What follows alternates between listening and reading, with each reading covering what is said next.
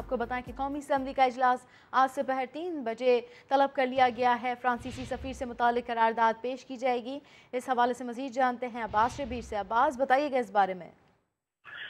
देखिए, जमेरात को सेशन था जुमेरात तक मुलतवी किया गया था, लेकिन गुजशत रात जो मुजाकर हुए, उसके बाद ये फैसला किया गया है कि फ्रांसीसी सफ़ीर के हवाले से जो करारदाद लानी है, उसके लिए आज इजलास बुलाया जाए। तो आज इजलास जो है, वो बुलाया गया है। चीफ वेब आमिर डोगर की तरफ़ से भी इजलास बुलाने की तस्दीक की गई है और ये कहा गया है कि तमाम मेम्बरान आज के इजलास में शिरकत को यकीनी बनाएँ।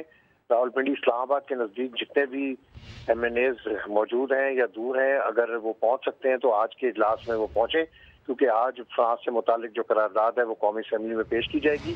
कौमी असम्बली का इजलास आज काबीना की मीटिंग के बाद तीन बजे होगा। बहुत शुक्रिया अब्बास शबीर आपका।